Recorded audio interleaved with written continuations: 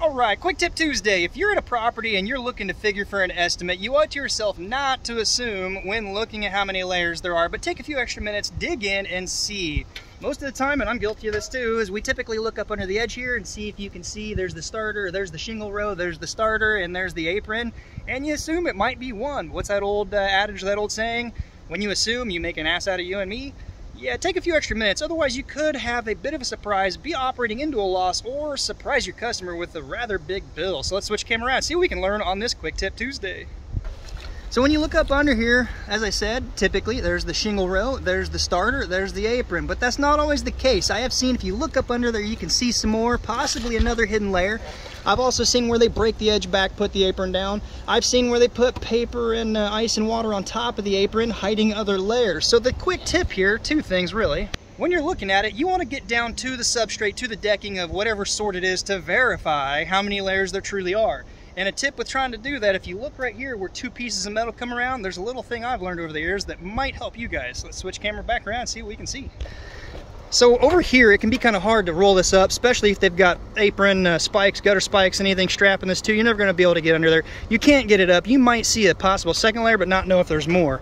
So over the years, I've come to see if you can set up next to a piece of apron lapping like this, you could typically lift it and rock it, and you can get under here just enough to see that yes, there is indeed a hidden layer up under there. And honestly, what I'm looking for at this point is how many layers are there? And it looks like I can see the edge of the decking. There's the starter row, there's the shingle row, so it appears to be two.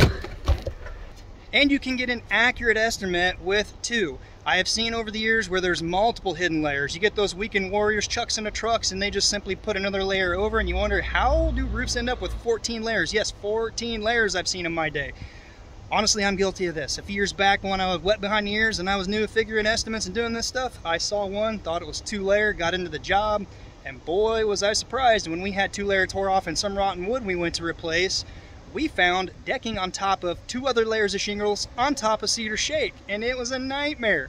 You get into operating big into the red you're not profitable and if you want to try to recoup some of that then you got to go explain to the homeowner or like hopefully you're written into the estimate if there's hidden layers but again it just makes you look bad so take a few extra minutes do your best to dig in see how many layers there are so you can figure it accurately not make an ass out of you and me and operate in the red and surprise your customers. Or you come in to be that guy like, why are you so much less? Well, it's because I didn't even look to see how many layers there are. So, tip on Tuesday, look for a piece of overlapping edge, try to look up under there, and if you really have concerns before you bid it and get into the job, maybe even take a core sample. Let your customer, potential customer know like, hey, there could be some multiple layers here. You might need to remove a few shingles, lift up a row, just somehow get a core sample of it. That's all I'm saying here. It can save you a big headache in the past because it's it surprised me a few years ago. And I learned my lesson. So quick tip Tuesday, check under, verify, till you get to the decking substrate, see how many layers there are. Hopefully the, uh, the tip helped. If you could, give it a thumbs up. Until next time, be safe, and we'll see you on the next video.